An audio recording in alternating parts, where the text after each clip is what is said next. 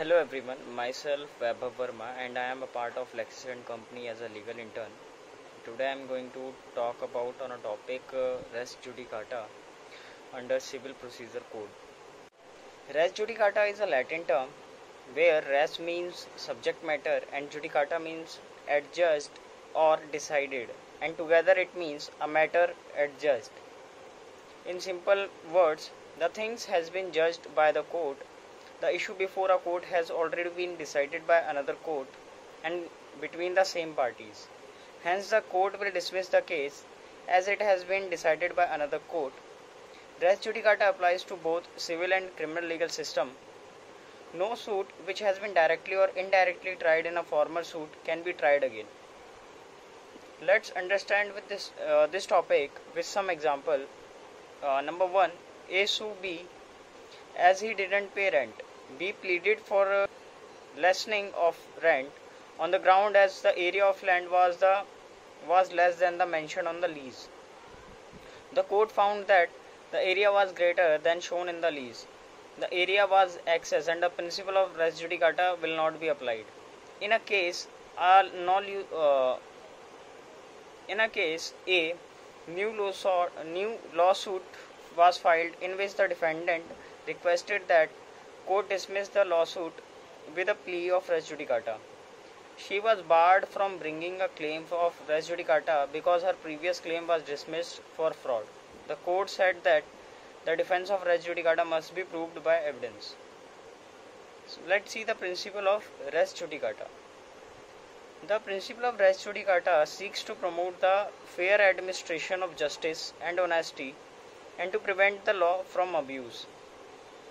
This principle applies when a litigant attempt when, when a litigant attempts to file a subsequent lawsuit on the same subject matter after having received a judgment in a previous case involving same parties. In many jurisdictions, the, this applies not only to the specific claim made in the first case, but also to claims that have, could have been made during the same case. This concept uh, is evolved from the English common law system and was derived from the overriding concept of judicial economy, consistency, and finality. The main purpose of res judicata is uh, is to prevent uh, injustice to the party of a case that has been supposedly concluded by providing closure to a judgment and precluding any further claim. Unnecessary waste of court resource, multiplying of judgment as further claim would lead to several varied judgment on same subject matter which leads to confusion. Recovery of damages from the defendant uh, twice for the same injury. In Civil Procedure Code, uh, Section 11 of the Civil Code of Civil Procedure deals with this concept which uh, embodies the doctrine of uh, res judicata which states that Section 11 of the code states uh, that uh, the states the definition of uh, res judicata, which means uh, when a matter is uh, whether on question of law or fact is has been decided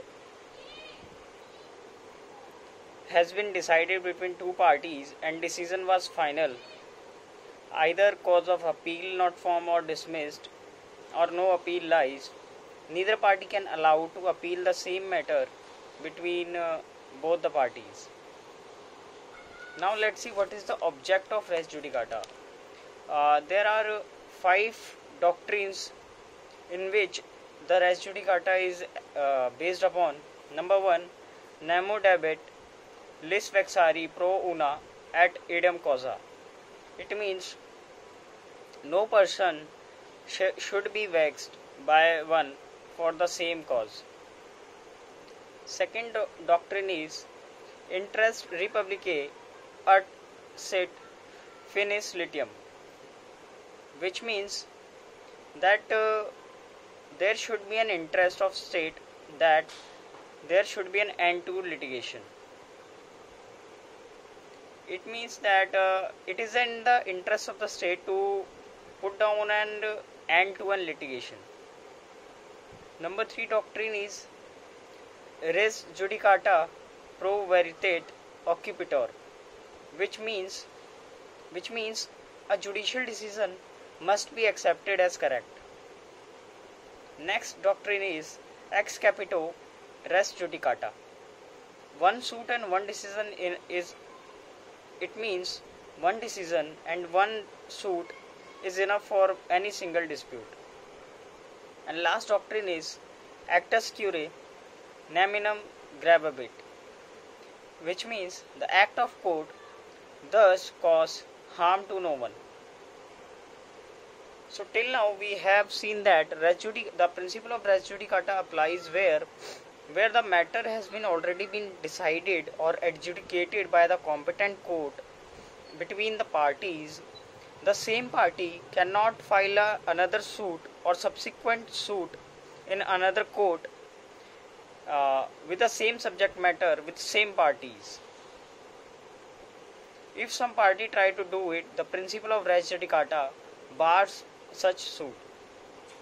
Now let's see what are the conditions upon which the, upon which this principle of res judicata is applied. Number one condition is the matter must be directly and substantially issued in two suit. Second, condi- second condition is the prior suit uh, must be between the same parties or the person claiming under them. Third condition is party should should have litigated under the same title.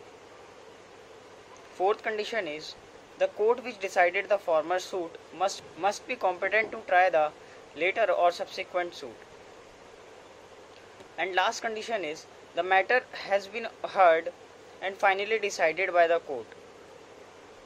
So if these these five conditions being fulfilled being fulfilled when uh, other party or any party of the suit file a new case in the in the court or subsequent case in the court if such conditions being fulfilled then uh, the principle of res judicata applies there and uh, bars such suits to reduce the abuses of the court and uh, reduces the number of cases the principle of res judicata is very handful.